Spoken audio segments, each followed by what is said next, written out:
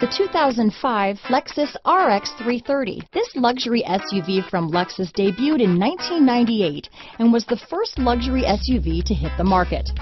Besides being the pioneer for luxury SUVs, the RX 330 gives the driver similar dimensions to the Jeep Grand Cherokee with the refinements of Lexus and quality of Toyota. This vehicle has less than 110,000 miles. Here are some of this vehicle's great options anti-lock braking system, all-wheel drive, keyless entry, stability control, power passenger seat, traction control, steering wheel audio controls, power liftgate, leather-wrapped steering wheel, adjustable steering wheel, power steering, floor mats, auto dimming rear view mirror, four wheel disc brakes, aluminum wheels, AM FM stereo radio, universal garage door opener, rear defrost, climate control. This beauty is sure to make you the talk of the neighborhood, so call or drop in for a test drive today.